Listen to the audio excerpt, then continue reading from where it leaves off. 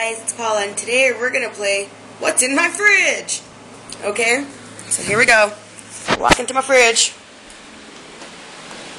Small kitchen. Fridge.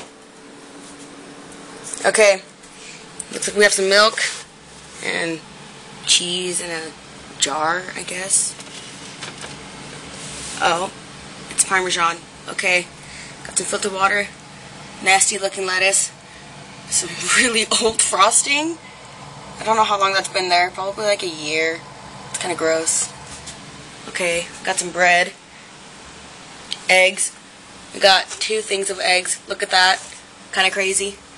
Melon. A lot of vegetables and an onion in a Ziploc bag. Yeah, okay. Hmm. More gross stuff. Okay. Got some yogurt. Key lime pie. It's pretty good. And some blueberry patch. Just happens to be my favorite, but whatever.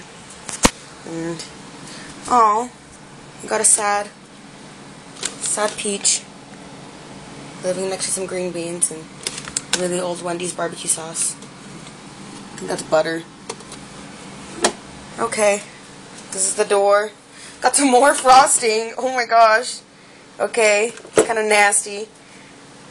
Alright, you know, juice that's never even ill.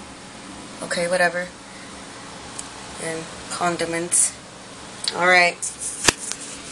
Well, there's what's in my fridge. See you next week.